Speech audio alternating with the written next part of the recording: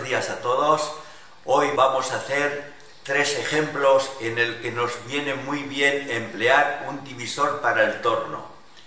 Como podéis ver, eh, eh, van a ser dos de marcar y uno de fresar.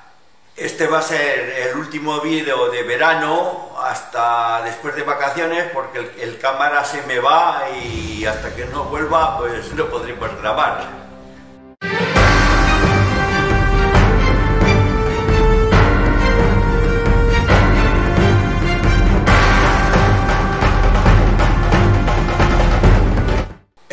Ejemplo que vamos a hacer es marcar en esta arandela que la tengo mecanizada cinco agujeros.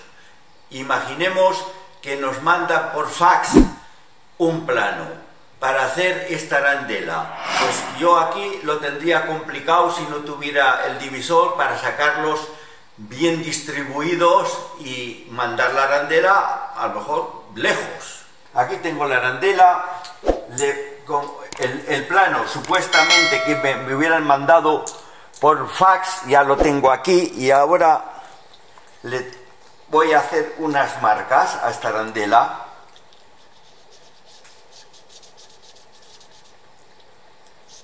En el plano me está diciendo que entre, entre centros de agujeros hay 115 milímetros, por lo tanto aquí voy a hacer una raya le hago una raya por este lado y otra por este otro lado. Supuestamente esto me tendría que quedar, como dice el plano, a 115 milímetros entre centros de agujeros. Sí, sí queda a 115. Bueno, pues ahora lo voy a poner en el torno y voy a hacer un círculo y después lo voy a dividir en cinco partes y ya lo tendremos terminada la arandela. Voy a marcar con esta herramienta. ¿Veis?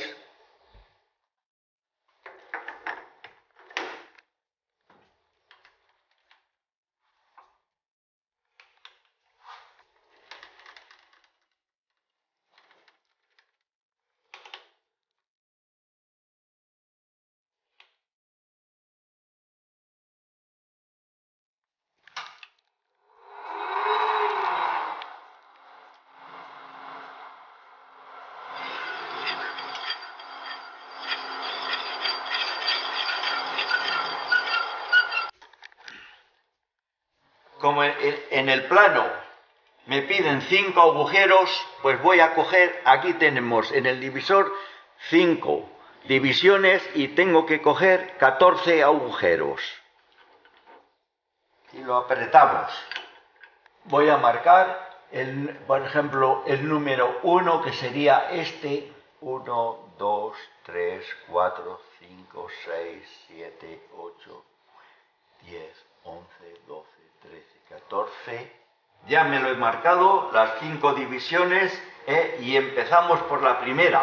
La aguja del comparador ya está señalando en la primera. Y ahora pasamos aquí y marcamos.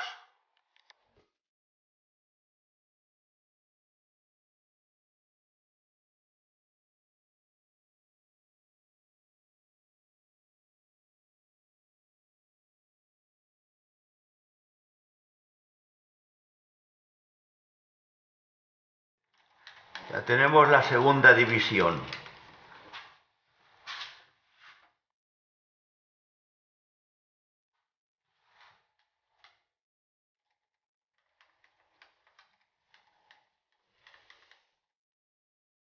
La tercera.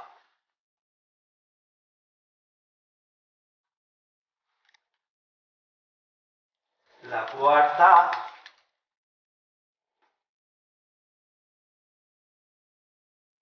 y la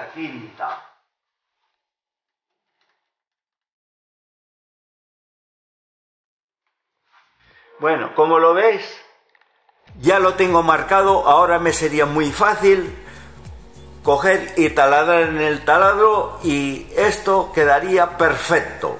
No lo voy a taladrar porque ya lo veis que no es necesario. Lo importante es el marcado, cómo queda. Ahora ya, como veis, ya lo tengo terminado de marcar y ahora voy a pasar a marcar otro tipo de pieza, otro tipo de agujero.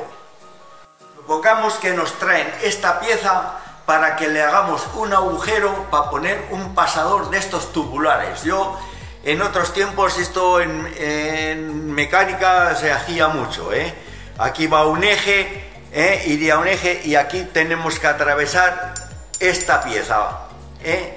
Y tiene que salir por este otro lado, pero tiene que salir perfecto. Yo aquí, en mi taladro, yo no podría hacerlo, por lo menos yo no me atrevería ¿eh? a sacarlo perfecto, a agujerar por aquí y que por aquí saliera la aguja perfecta, la broca perfecta, no podría. Sin embargo, aquí si me lo marco en el torno, me lo voy a marcar por aquí y por aquí, ¿eh? lo taladraría por aquí y le daría la vuelta y haría otro taladro y seguro que iría bien. ¿eh? Va este tipo de pasadores. Interrumpo un momento aquí para el vídeo porque quería dar las gracias que no se me había olvidado por los 2.000 suscriptores, por el apoyo que me habéis dado todos, porque para mí esto era impensable, porque cuando yo me compré el, el torno solo pensaba es tenerlo como adorno, pero no pensaba hacer nada y mi hijo me decía, te, tengo que grabar. Y yo le decía, no digas tonterías. Y mi mujer decía, pues sí, que te grabe, porque te grabe una sola vez tampoco pasa nada. Bueno, y al final accedí, porque yo tampoco pensaba que lo que yo pudiera hacer le iba a interesar a nadie. Y, y, bueno, hicimos un vídeo y total, como vi que gustó, empecemos a hacer uno, otro, otro. Y al final, pues ya lo veis, los vídeos ya que hemos hecho. Aunque nada más, solo eso, otra vez daros las gracias y seguimos con el vídeo.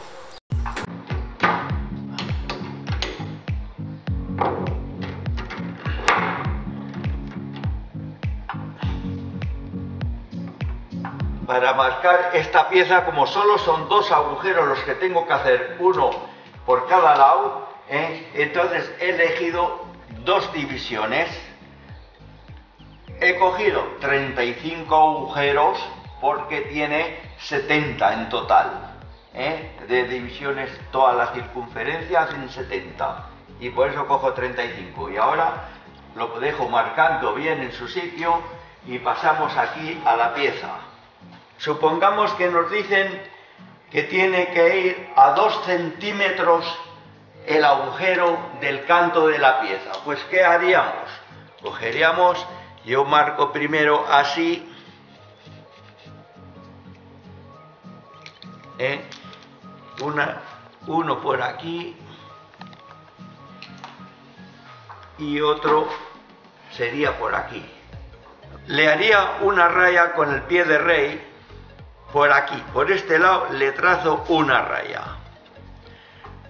por el otro otra raya. Ahora voy a rayar aquí.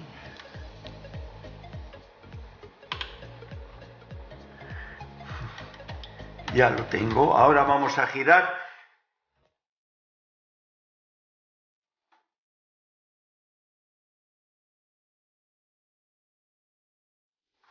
Y marcamos.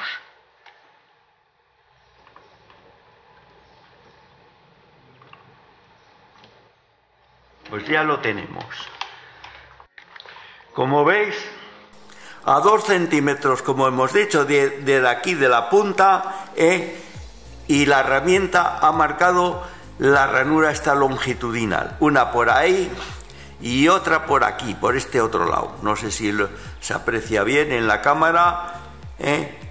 Pues esto ya lo podemos taladrar, ¿eh? lo taladraremos por este lado, lo taladraremos por el otro y con toda la seguridad ¿eh? esto va perfecto. No lo voy a taladrar porque tampoco tengo el macho para comprobarlo, pero os aseguro que esto iría perfecto. Yo lo he hecho cientos de veces en la mecánica para la agricultura.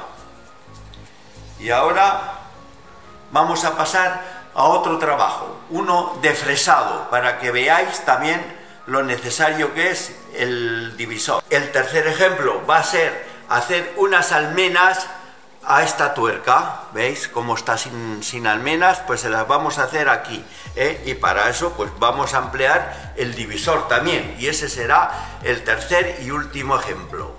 Como podéis ver, la tengo que coger un poco en, en la punta de las garras, un poco así en la punta de las garras, para poder fresar aquí. Ahora, para centrar la tuerca yo me ayudo siempre del portabrocas. Lo pongo aquí, hago un poco de presión sobre la tuerca. ¿Ves? Un poco de presión. Giro la pieza sin que esté demasiado apretada.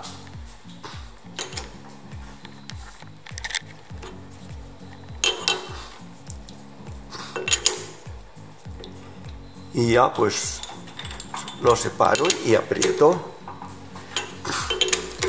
ya la tuerca me tiene que haber quedado centrada ¿lo ves? Ya la tengo perfectamente centrada yo siempre me ayudo por el portabrocas y hace tiempo que quiero explicar ¿eh? porque yo nunca he visto he, visto muchos vídeos pero nunca he visto que nadie tenga esta bandeja Fijaros esta bandeja, lo práctica que es. ¿eh? Cuando la tienes llena de virutas, la vacías, la pones otra vez, no cuesta nada. ¿eh? Y encima nos protege es la bancada. Mi maestro Aníbal siempre me decía que la, bancada era sagrada, ¿eh? porque a veces se cae cualquier cosa, una llave, cualquier cosa de, aquí de, o, al aflojar la tuerca se me puede caer encima, pues tengo la bandeja y la protege. Y, te protege también de las virutas, en fin, va muy bien. Esta fue, cuando compré el torno, fue la segunda tarea que hice. ¿Eh? Pero la primera, la primera fue una cosa muy importante fue ponerlo a nivel. Porque eso si lo tienes a nivel, después te sirve de referencia para cualquier pieza, como ahora vais a ver, esta tuerca, voy a emplear el nivel, porque si no, no sabría yo si está más girada para un lado o más para otro. ¿eh? Pero como puedo confiar en que el nivel ya está eh, a, a nivel, el torno lo tengo a nivel, pues yo ahora pondré el nivel en la tuerca y la pondré perfecta. Yo esta tuerca, y ahora no sé si está más así o más para allá, la tendría que dejar a ojo, así a ojo, a lo mejor me parece que estaría bien, pero sin el nivel no lo puedo saber seguro. Entonces yo pongo el nivel aquí y el nivel me lo dice, pues no está. Esta tuerca no la tengo bien. Voy girando, voy girando, a ver, pero mira de frente hasta que ya lo tenga a nivel.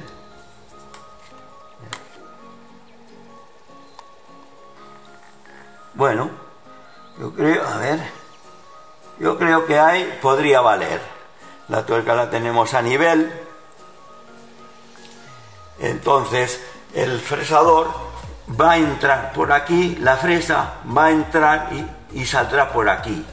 ¿Entiendes? Yo necesito que esté a nivel, porque si no, no me quedaría bien. Ahora voy a poner el divisor. Voy a aprovechar las divisiones que lo tengo marcado. Hay seis divisiones que son las que empleé para hacer el estriado universal. Pero lo voy a aprovechar. Lo único que en vez de, de coger las seis divisiones voy a coger cada dos y será solo tres.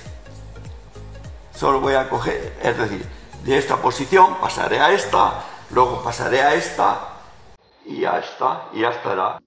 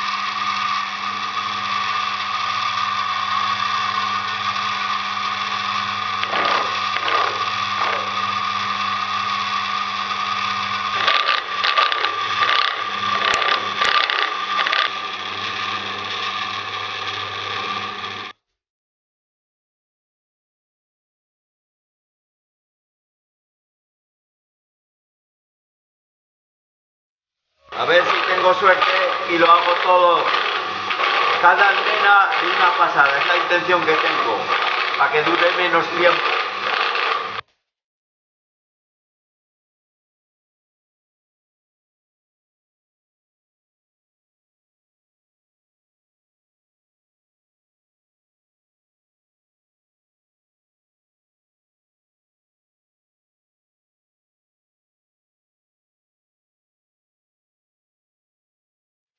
lleva una profundidad de 5 milímetros que yo creo que es suficiente para la almena. Y ahora procederemos a, cambiar de posición. Lo voy a pasar al otro lado, donde la he iniciado.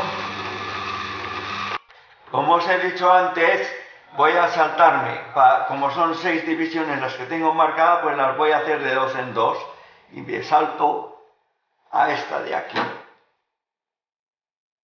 Ahí está.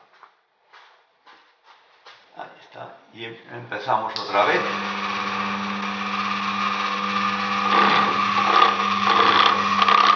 Ahora cambio ya a la última división y tendremos la pieza terminada.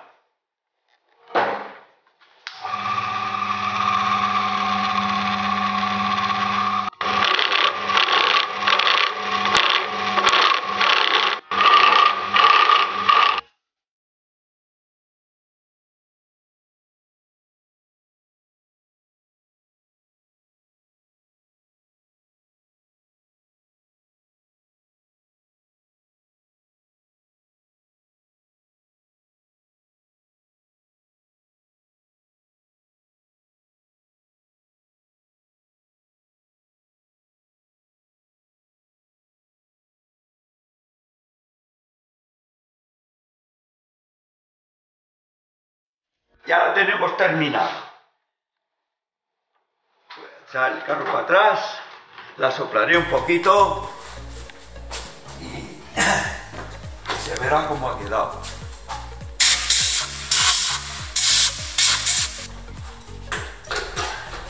Este sería el tercer ejemplo ¿eh?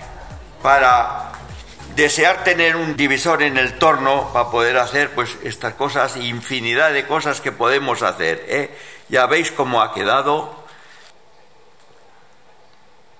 Con este último trabajo ya concluimos por hoy la grabación y ya solo me queda pues bueno desearos que paséis un feliz verano y el que se vaya de vacaciones pues que las disfrute y y a la vuelta de vacaciones estamos otra vez aquí a seguir grabando.